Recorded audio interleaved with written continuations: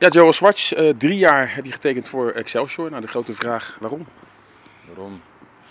Um, het voelde goed. Uh, ik ben bekend bij deze club, dus voor mij is het ook makkelijk binnenkomen. En uh, ja, ik ben hier gekomen om, het kampioenschap te pakken. Ja, je zegt al, ik, ik ken de club, want je hebt je in de jeugd gebivakkeerd. Helpt zoiets dan toch mee op het moment dat je een beslissing moet maken? Ja, tuurlijk. je hebt hier al drie jaar gespeeld. Je hebt uh, bij één aan mogen sluiten. Uh, je kent veel spelers, dus ja, dat is, voor mij is het makkelijker.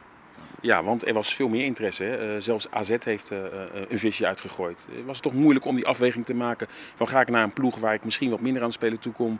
Of ga ik naar een ploeg waar ik, ja waarschijnlijk, je weet het natuurlijk nooit, veel ga spelen? Ja, tuurlijk. Ja, met mijn zaakwaarnemer met mijn vader samen alle opties naast elkaar gelegd. Zowel sportief als financieel. En uh, ja, daar is deze optie uitgekomen. En hoe belangrijk is het dan toch ook dat je in deze omgeving kan blijven, nog op een jonge leeftijd. En waar je toch met een trainer gaat werken die erom bekend staat dat die spelers beter maakt, Ricardo Moniz? Ja, dat is altijd fijn als je hoort dat een trainer spelers beter kan maken. Voor mij is het sowieso uh, mijn, ja, mijn eigen stad, dus dat is ook wel fijn. En uh, ja, allemaal pluspunten eigenlijk. We hebben bij Jong Feyenoord gezien dat je meerdere posities kan bekleden. Ben je hier echt als centrumspits gehaald? Uh, ja, ze kunnen maar centrumspits gebruiken, maar ja, ook als de flank. Het ligt eraan wat de trainer wil, hoe die wilt spelen en uh, ja, waar die me neerzet. In antwoord 1 zeg je uh, kampioen worden. Uh, ja, ongetwijfeld is dat ook wel de ambitie van de club, maar dat is ook jouw persoonlijke ambitie en zie je toch ook nu al mogelijkheden? Ja, tuurlijk. Ik denk dat wij dat we gewoon een prima selectie hebben staan en dat we gewoon zeker bovenin mee gaan strijden. Nu ben je jeugdspeler geweest en uh, natuurlijk hè, bij Feyenoord. En dan droom je altijd van betaald voetbal. En daar heb je nu al een half jaar aan mogen ruiken bij Dordrecht. Daar heb je het goed gedaan. Uh, en, en, en, smaakt het naar veel meer nu je ja, toch een half jaar in de keukenkampioen-divisie gespeeld hebt? Ja, zeker. Absoluut smaakt het naar veel meer. Ik heb daar een half jaar mogen spelen. En nu mag ik daar een heel jaar spelen en kan ik laten zien wat ik kan.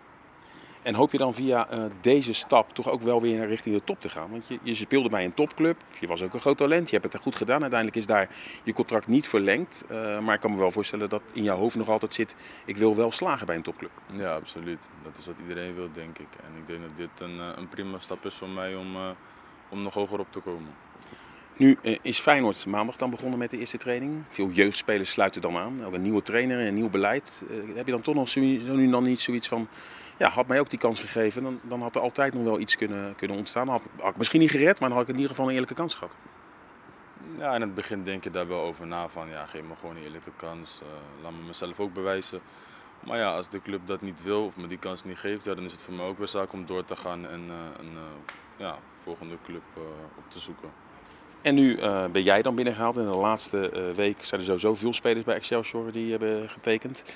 Ehm, ja, Kyle Ebicilio keeper blijft. Er zijn meerdere spelers die, die komen. Sander Fischer die terugkeert.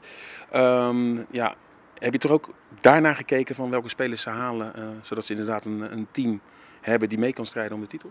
Ja, natuurlijk kijken we dat naar. Natuurlijk kijken hoe het team wordt samengesteld. Maar uiteindelijk gaat het erom van wat doe je zelf, wat breng jij voor het team?